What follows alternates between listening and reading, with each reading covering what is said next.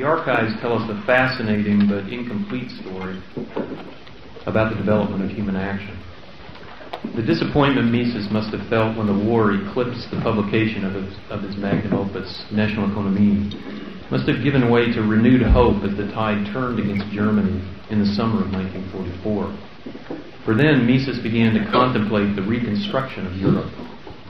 As he would write in December 1944 to Yale University Press, proposing to publish an English language version of National Economy, quote, It is very likely that the great issue of post-war reconstruction will stimulate interest in a book which deals extensively with economic problems and discusses thoroughly all proposals for an economic and social reform. Close quote. Mises had already made a deep and lasting impression on Eugene Davidson, who was editor of Yale Press, with his books Bureaucracy and Omnipotent Government, published by Yale early in 1944. Davidson frequently uh, had lunch with Mises in New York at the Roosevelt Hotel during that year. And while considering Mises's proposal for human action, he consulted Henry Hazlitt in January of 1945, telling him that, quote, we are in your debt for having introduced von Mises to us in the first place, close quote. Mises's two-page memo to Davidson on December 27, 1944, outlined the project for an English language version of his treatise on economics. It will not simply be a translation of the book published in Geneva in 1940 in German language, Mises wrote. Besides the revision of the whole text, which will involve entirely rewriting some chapters, other important changes seem to be necessary in order to adapt the book better to the intellectual climate in America. Close quote. The very next day, Davidson replied with a note of thanks, asking Mises how large an advance he would like to uh, begin work. Mises asked for $1,500 plus $400 for expenses, which Yale Press eventually agreed to when the contract was signed on the 9th of March in 1945. The contract stipulated that Mises was to pay Hazlitt for editorial assistance. It turns out that Hazlitt helped enormously with the manuscript for Bureaucracy and omnipotent government. Davidson, in a letter to his, fr- his friend Ray Westerfield, who was professor of political economy at Yale, revealed that, quote, Henry Hazlitt and our editorial department labored mightily over these two books. and while we wished to be more optimistic about the new one, he conceded that, that only their prior experience would make the editing of human action easier. These fears proved to be groundless. When Mises sent Davidson the first set of manuscript pages for Human Action, he replied on 10 November 1947, quote, I spent a good deal of the weekend on it, and while some of the reasoning was abstruse, the main argument is brilliant and learned. After asking him how long Hazlitt's and the other editing will take, he declared, The manuscript is in good shape in general, although there are a few Germanisms left here and there. Close quote. Hazlitt's editing did not take long. Although he supplied Mises with 38 pages uh, of editing remarks, most of them were minor word changes, with only a few suggestions for improving the content or the style. After receiving the signed contract from Mises, Davidson began to solicit opinions of Nationalökonomie and the project. Norman Donaldson, managing director of Yale Press, handled the correspondence. Like Davidson, he became smitten with the project. Donaldson first asked Henry Hazlitt on January 15 1945 for his opinion and for a list of other commentators. After noting the importance of the theory of money and credit and socialism, and the excellence of bureaucracy and omnipotent government, Hazlitt wrote, quote, National economy is the fundamental theory of which the conclusions on the books on socialism and money are the corollaries. It would have been a very, excuse me, it would have a very important effect on economic thought in America and be a standard book on economic principles of permanent importance. Close quote. Hazlitt recommended Fritz Machlup, Gottfried von Haberler, Benjamin Anderson, Garrett Garrett, Lionel Robbins, F.A. von Hayek, Irving Fisher, Ray Westerfield, and two former students of Mises, B.H. Beckhart and John Van Sickle. Beckhart, who was then professor of banking at Columbia, dismissed the project outright. Quote, I doubt if Professor Mises's work would have a sufficiently wide sale to justify its translation and publication. Close quote. Van Sickle, then at Vanderbilt, wrote favoring publication. Mises writes with, quote, great clarity and with a ruthlessly logical consistency, he wrote, the student of social processes needs a dose of this kind of vigorous reasoning more urgently than ever before, even though he finally rejects some of von Mises's extreme positions. Close quote. Haberler commented that while the book was well written and interesting, it was very extreme and will not be well accepted in academic quarters. Moreover, it is scientific in tone and in many parts too difficult for the layman and thus would not sell. He suggested that Donaldson contact Frank Knight. Knight was more favorable, writing, quote, Undoubtedly, economic theorists and scholars of all schools of thought will consider it a real service to economics to present the book in a good English version. Mises, Knight wrote, is no doubt the last of the great Austrian or Viennese school, since other members of comparable standing turn their scientific along with their political coats. But he cautioned that Mises's views on monetary and cycle problems are more important than those on general theory or general po- uh, problems of policy. Knight also related an assessment by Oskar Lange, who he had asked to comment on the project. Lange, an outspoken opponent of Mises in the debate on economic calculation and socialism, could only muster that Mises once did some pioneering work in monetary theory, but that has long been available in English. He agreed that it would be good to have a decent English edition, which scholars could make use of for particular points of reference and to make historical connections. Westerfield, who knew Mises from a monthly conference group at the National Association of Manufacturers, was positive, calling it a first rate book.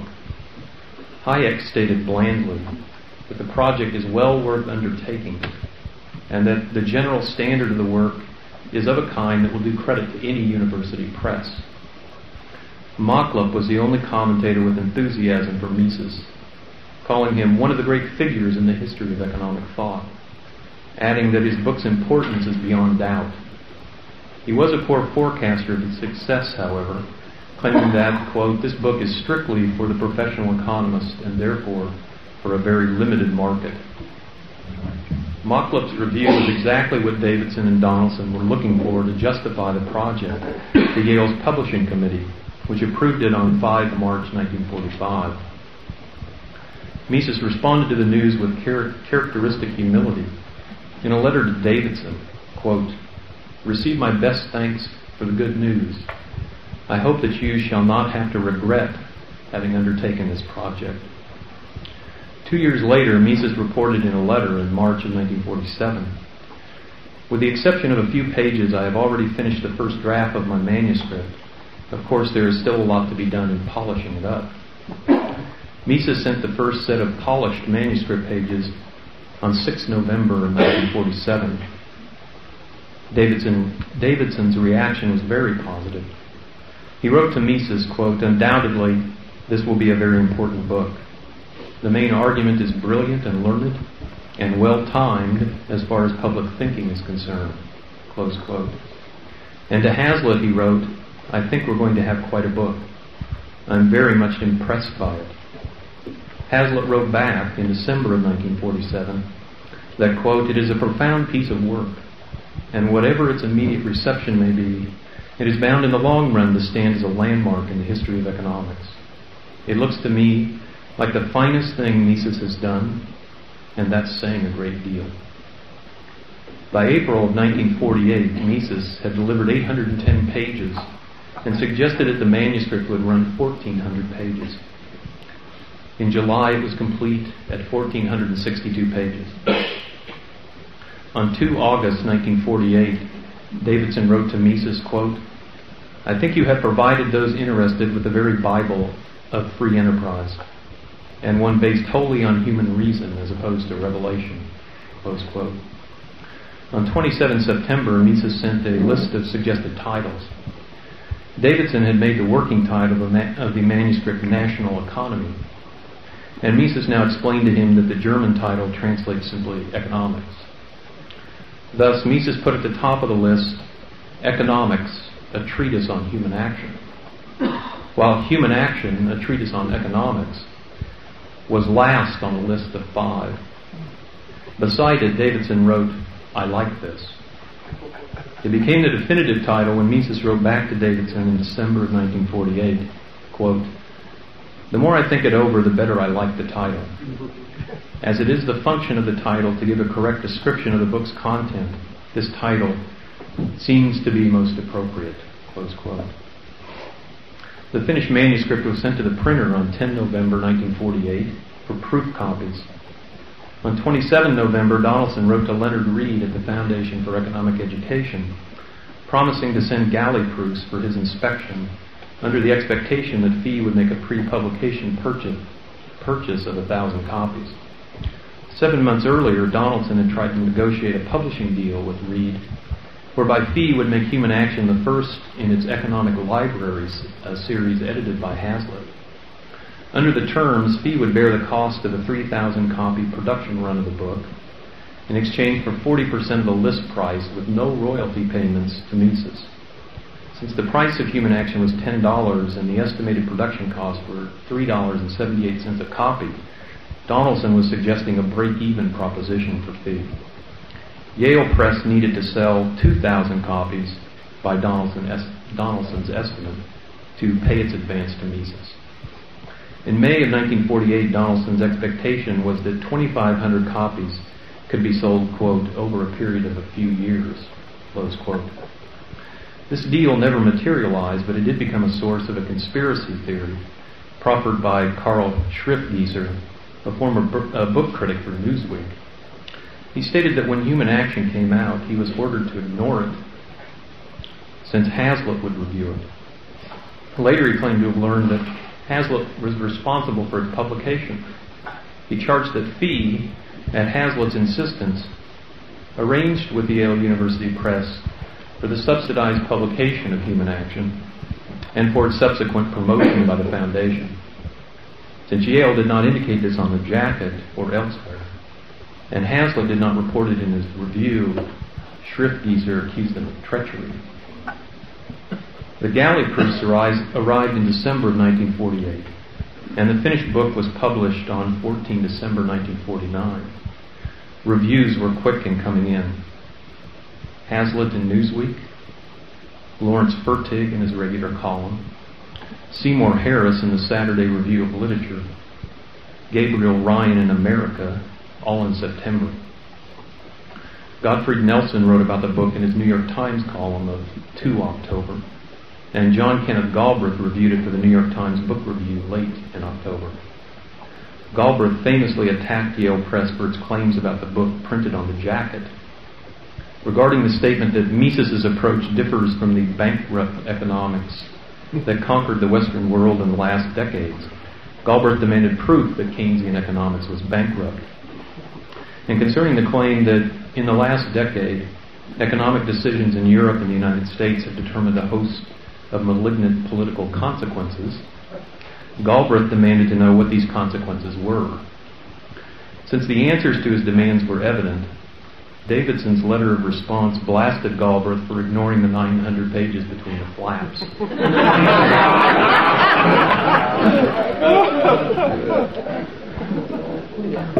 In December of 1949, the book was re- reviewed in the London Economist, and in January of 1950 in American Affairs, and by John Chamberlain in Plain Talk. Yale's press promotion of human action was in the hands of its newly appointed secretary, Chester Kerr.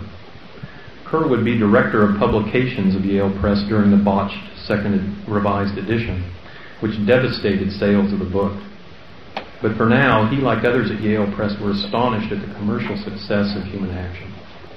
In eight days, 425 copies had sold to the public, which, in addition to pre publication sales of 1,300 copies, ran Yale's press stock down to 15 copies. It had 885 more copies shipped from the bindery, After 11 days, a second printing of thousand copies was ordered, as bookstore sales were running 80 a day, up from 50 a day the first week. After 15 days, on 30 September, the press had only 475 copies left of the first printing of 3,000. During the first week of October, Yale Press sold another 635 copies. In 22 days, 3,160 copies of Human Action were sold. Officials at Yale Press were ecstatic. Donaldson recalled predicted that 2,500 copies could be sold over a period of a few years. Plans were set for a third printing of 1,500 copies. In short, the book was a publishing sensation. No mean feat for an intellectual feast of almost 900 pages. Its publication launched the Austrian school revival, which has 50 years later matured into a visible and viable alternative to the neoclassical paradigm. After 12 years in print, Mises set in motion the second revised edition in a letter uh, on 16 March 1961 to Kerr, who was now director of publications, stating that, quote, it is time to publish a new edition revised in some points and slightly enlarged. Mises often entertained suggestions for changes in his work from colleagues, friends, and editors. While preparing the second revised edition, Mises received 28 typewritten pages of suggestions from Percy Greaves on 12 October 1961. Unlike Hazlitt's list for the first edition, Greaves recommended many significant alterations in content and offered extended remarks on several sections, such as the one on monopoly. As usual, Mises accepted some and rejected others. Yale Press received the news of a second revised edition with enthusiasm and waited for Mises's changes, which he said would be delivered by the end of the year. Kerr informed Mises on 7 December that the press had just enough copies of the first edition to last until the end of the year. They sold out on 13 February 1962. And Mises, because of an extended illness, including a two week hospital stay following surgery, did not deliver the changes until 9 March, when he traveled to New Haven and personally handed them to Kerr. It would be a year and three months before Mises would see a published copy of the second revised edition. On 15 May in 1962, Mises received the page proofs of the changes and new pages for the second edition. He returned them on 5 June. From then until the second week of November, he heard nothing from Yale Press. On 12 November, the press sent revised proofs, which Mises quickly corrected and sent back. It was standard practice for Yale Press to send Mises two page proof copies of his manuscripts. It did this for Bureaucracy, Omnipotent Government, the first edition of Human Action, theory and history and the theory of money and credit. He would put his corrections on both sets, send one back to Yale, and keep the other for his files to check against the printed book. But on 9 January 1963, Mises received a call from a subordinate of Mr. Kerr, who told him that he would not receive page proofs of the entire manuscript. An agitated Mises wrote to Kerr the next day saying that he would, quote, not renounce seeing the final page proofs.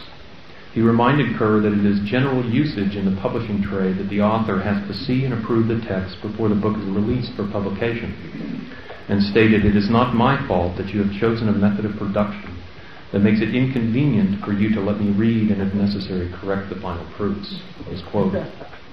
Kerr wrote to Mises on the same day, explaining the controversial method of production and why it precluded producing page proofs.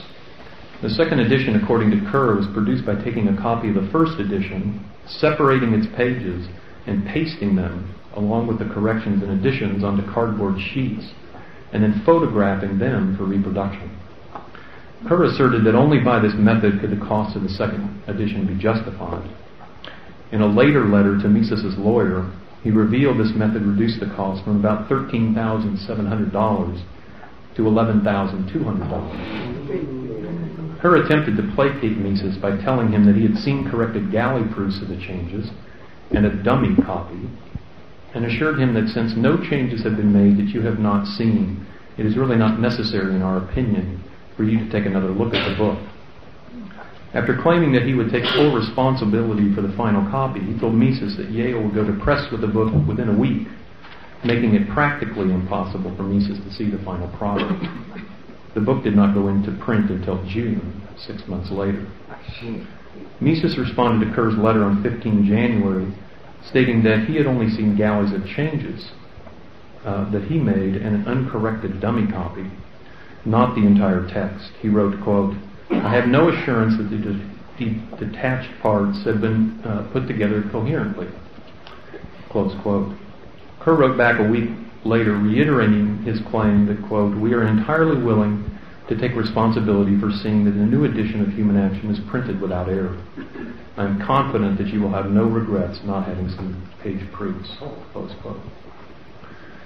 Three months passed before Mises was inspired to take further action uh, by a letter he received from Lyle Munson of Bookmailer Inc., who told him that he had just received another announcement from Yale Press stating that due to production delays, we do not expect to have Human Action available for sale until June or July of 1963. In frustration, Munson asked Mises if he had explored the possibility of using another publisher. He informed Mises that after six months of failure to reprint, the typical contract stipulates that rights revert to the author. Mises did not delay in employing this leverage on Yale Press. On the 2nd of May, he wrote to Kerr telling him about Munson's offer to publish Human Action and demanded either publication without delay or reversion of the rights to the book. For the first time in correspondence, he made the accusation that, quote, the present management of Yale University Press does not like my book. You regret the fact that the previous management of the press published it. You are fully entitled to think and feel as you do, but you are not free to neglect the responsibilities which the press has assumed in signing an agreement for the publication of this extremely successful book. Close quote.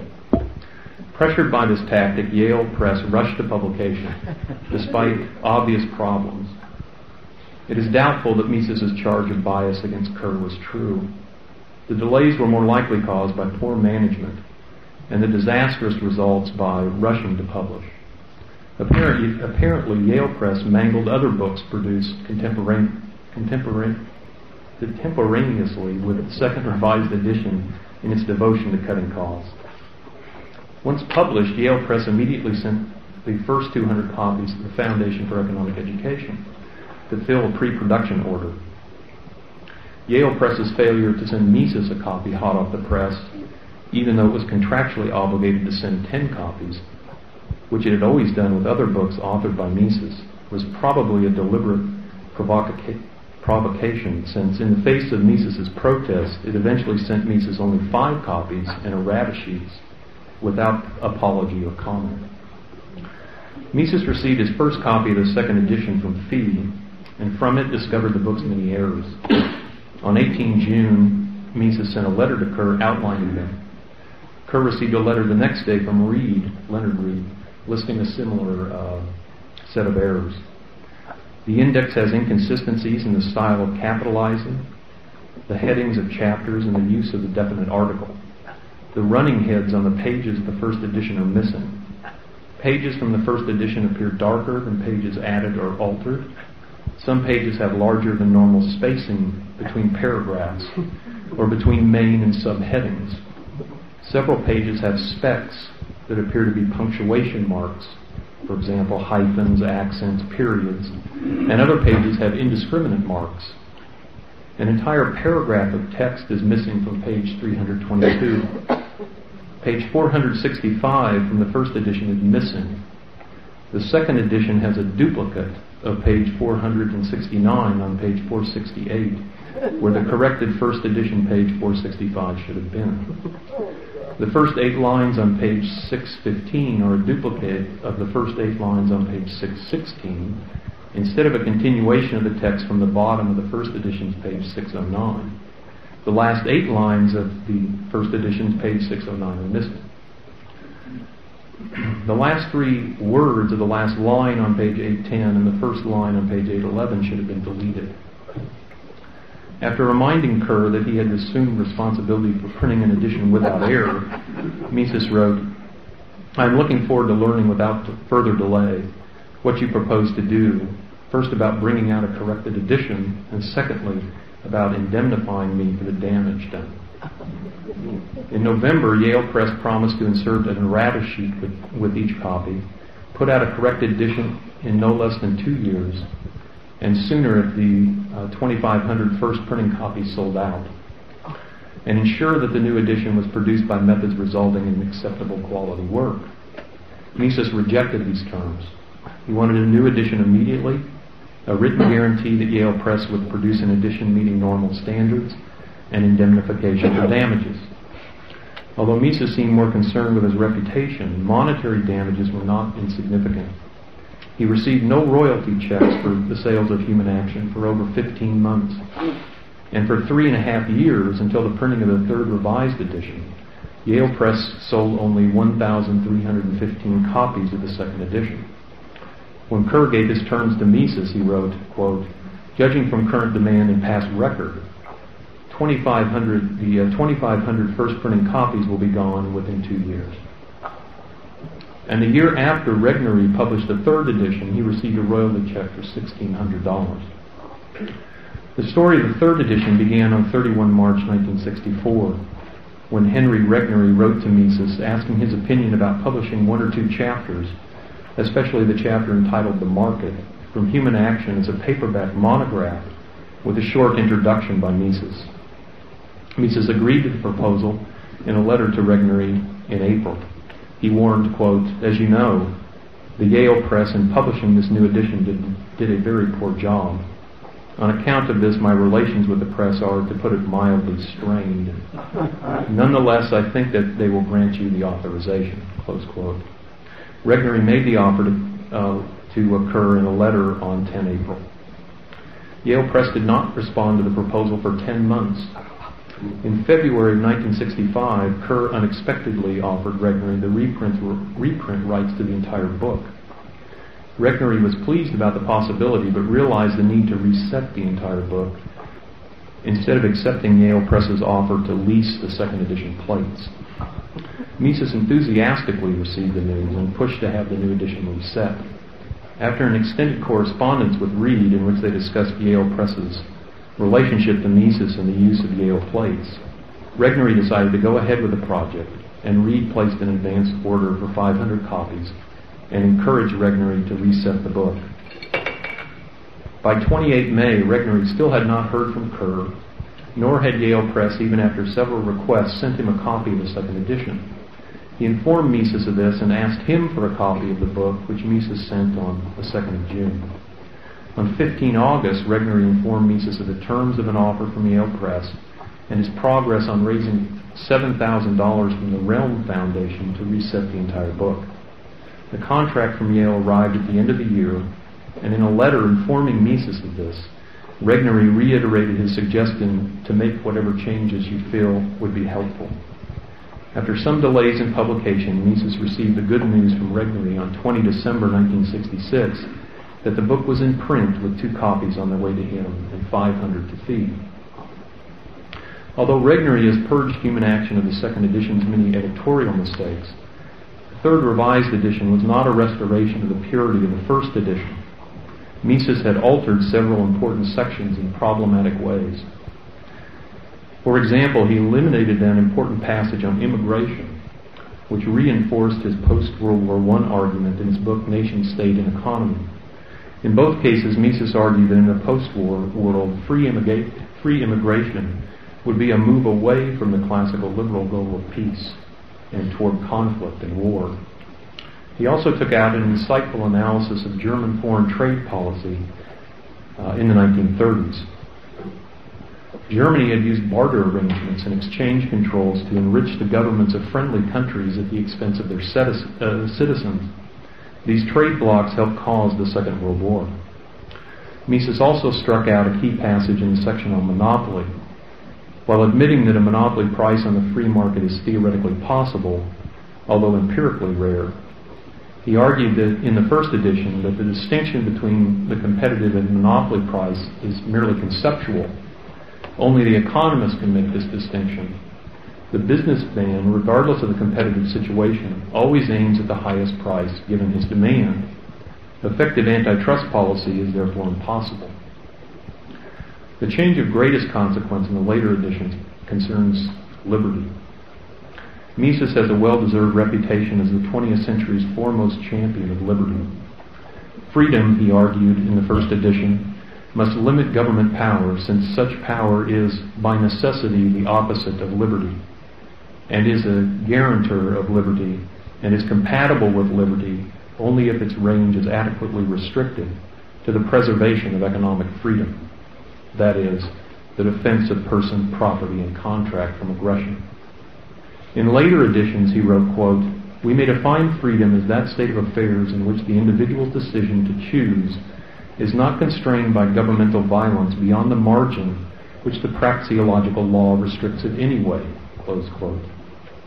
With this qualifier, Mises allowed, quote, the maintenance of a government apparatus of courts, police officers, prisons, and of armed forces. Since these functions require considerable expenditure, Mises reasoned, quote, to levy taxes for these purposes is fully compatible with the freedom the individual enjoys in a free market economy, close quote. Mises not only called for burdensome taxes to support a Cold War-sized armed forces, but even for conscription. He wrote, quote, If the government of a free country forces every citizen to cooperate in its designs to repel the aggressors and every able-bodied man to join the armed forces, it does not impose upon the individual a duty that would step beyond the tasks the praxeological law dictates. Close quote. This view is at odds with all of his other writings about the state. In Nation, State, and Economy in 1919 and Liberalism in 1927, he argued for secession as consistent with classical liberalism. But secession, the right of people to leave a state, is the polar opposite of conscription. No state can could consistently adhere to both principles. Moreover, in Nationalökonomie, Mises claimed that, quote, military conscription leads to compulsory public service of everyone capable of work. The supreme commander controls the entire people. The mobilization has become total. People and state have become part of the army.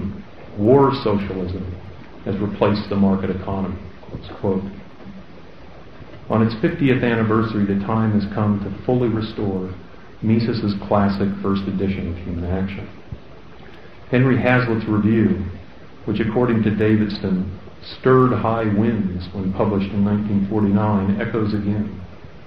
Human Action is, quote, a work of great originality, written in a great tradition, and destined to become a landmark in the progress of economics. More than definitive and prophetic, Hazlitt's words have been a source of inspiration for reissuing the first edition. Quote, Human action is, in short, at once the most uncompromising and the most rigorously reasoned statement of the case for capitalism that has yet appeared. If any single book can turn the ideological tide that has been running in recent years so heavily towards statism, socialism, and totalitarianism, human action is that book. Close quote. Thank you.